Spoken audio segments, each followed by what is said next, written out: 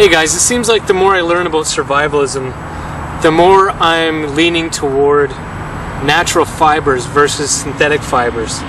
Yeah, synthetic fibers are very lightweight and they can have a really good moisture wicking quality to them and be very wind resistant, water resistant. That said, the insulative quality just isn't there when they are wet and when they are permeated with moisture or humidity. So I've been leaning more toward wool, and I've been buying a lot more wool over the past few years.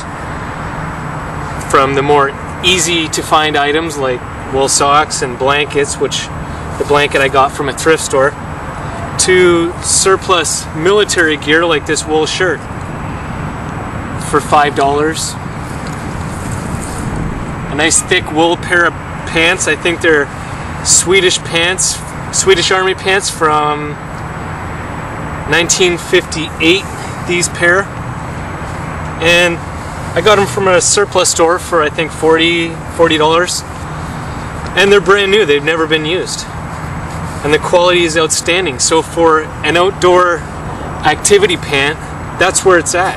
A few layers of of wool and maybe a nylon outer shell. And there you are for your your deepest temperatures your coldest temperatures I mean. This is a pair of GI wool pants USGI issue from 1951 and these are 20 bucks.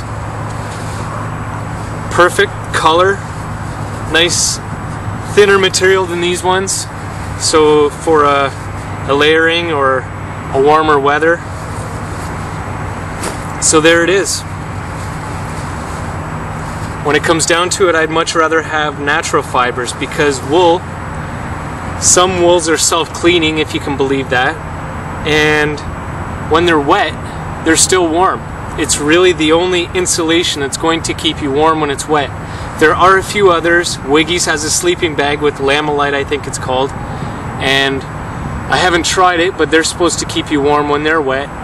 And there's also open cell foam clothing that people make. And they make sleeping bags out of it too. And that's something that when it's wet, it will keep you warm.